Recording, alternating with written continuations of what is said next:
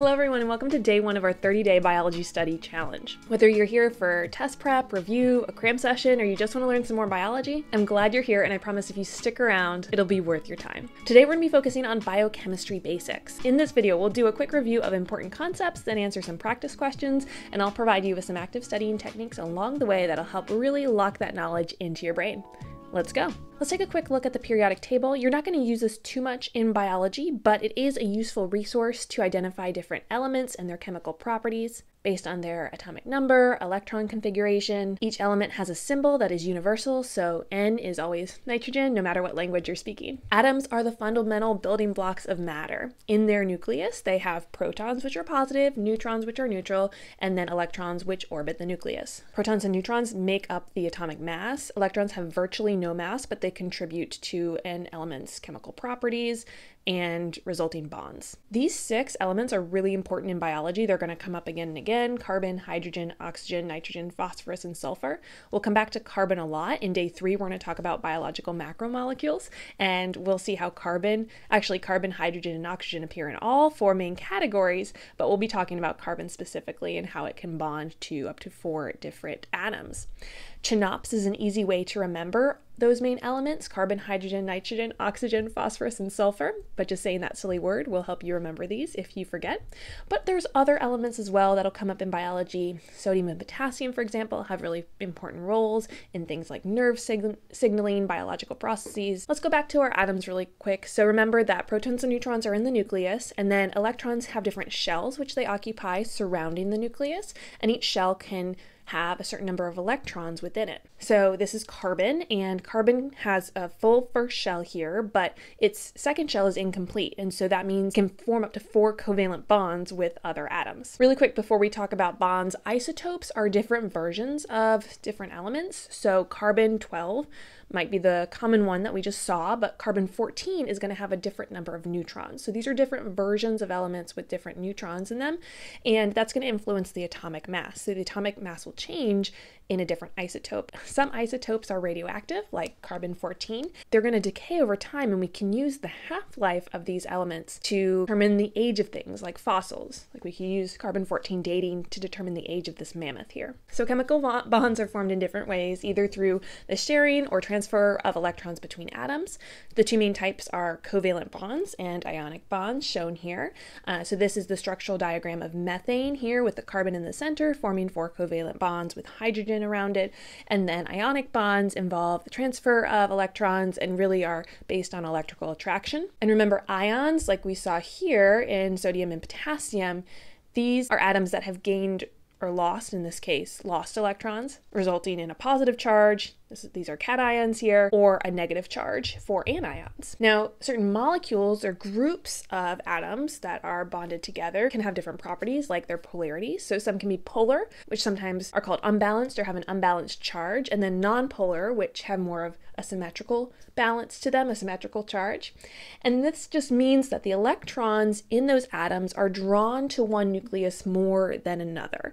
And so with water, with our large oxygen and then two small hydrogens, we have an imbalanced charge. So we have a more negative side and then more positive side of this molecule. And so water is a polar molecule and it plays a really important role in biological systems due to its unique properties, which we'll cover tomorrow in day two. Now, hydrogen bonds are really unique types of connections between molecules and they're relatively weak compared to ionic and covalent bonds, but they're crucial for maintaining the structure of certain molecules like DNA. So in between all of our bases in DNA, we have different numbers of hydrogen bonds. And then, of course, water can connect other water molecules through hydrogen bonds as well. Um, but they are weaker in comparison to ionic and covalent bonds because they involve just partial charges, but they are really crucial in lots of different biological molecules, DNA here, the structure of different proteins, which we'll see later on. So, pH, really quick, another chemistry concept that's important in biology is a measure of how acidic or basic something is.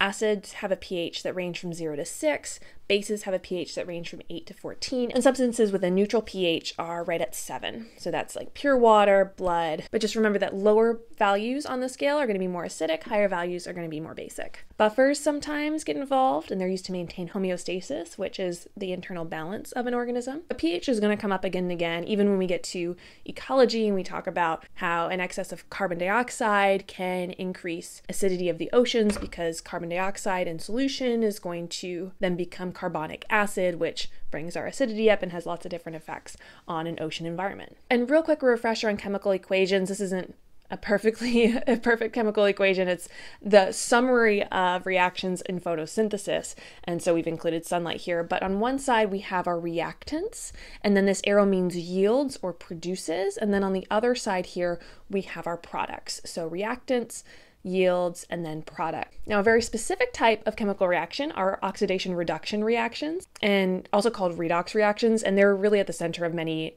important core biological processes like cellular respiration, photosynthesis, different metabolic pathways. A lot of students get this confused, and it's a tricky topic even in chemistry.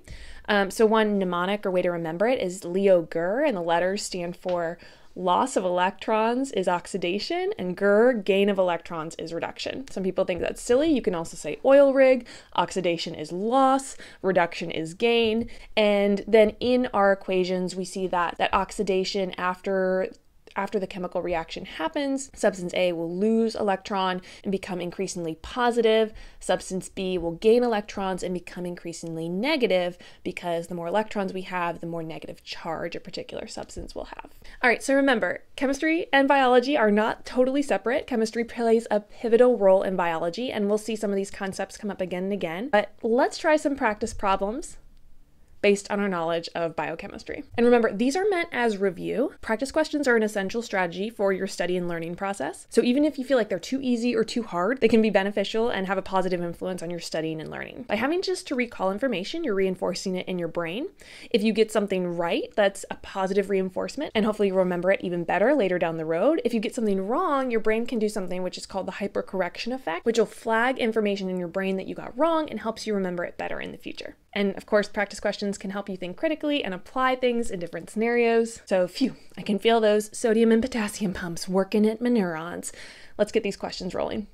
So, what I'm going to do is just go through these questions. If you want to pause and jump forward, you can. I'm going to give you a moment to pause and think about the answer yourself and then reveal the answer and explain it. If you would like to just mute me and look at these questions or pause and go through them on your own, feel free to do so. A researcher is studying a new organism and discovers that it has a unique isotope, carbon 15, which is not commonly found in living organisms. What potential impact might this have on the organism? A. It may affect the organism's ability to form covalent bonds with other atoms. B. It may alter the organism's biologic processes due to the different atomic structure. C. It will have no significant impact on the organism. Or D. It will make it may make the organism more resistant to environmental changes. Go ahead and pause if you want. Correct answer is B. It may alter the organism's biological processes. So, if it has the same number of protons but a different number of neutrons, which is what an isotope is, it could be radioactive, or the stability of the actual element could be a little different but that could lead to alterations in different enzymatic, metabolic processes in the organism. Other biological molecules may interact differently with the isotope. So we just have to see. What is true about hydrogen bonds and their role in the structure and function of biomolecules? A, they provide the primary force for covalent bond formation. B, they create a strong, permanent connection between atoms and molecules. C, they allow for temporary and reversible interactions between molecules. Or D, they provide a stronger connection between atoms than ionic bonds. Think about your answer. And correct answer is C. They allow for temporary and reversible interactions between molecules. DNA, for example, has to unzip in order to replicate or undergo protein synthesis, and so those hydrogen bonds, which can come apart and then back together again, are really useful to be at the center of that molecule. All right, sulfur has an atomic number of 16 and an atomic mass of 32. This means that there are neutrons in the atom 16, 32, 17, or 6. All right, correct answer is 16. To find the number of neutrons, we have our atomic mass, we subtract the atomic number, and we get the number of neutrons here.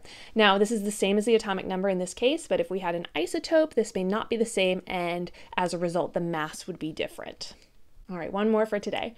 Oxygen is the final electron acceptor in a series of reactions of cellular respiration. What does this mean about oxygen? A. It is oxidized. B. It is reduced. C. It remains in its elemental form. Or D. It is neutralized. Think about it.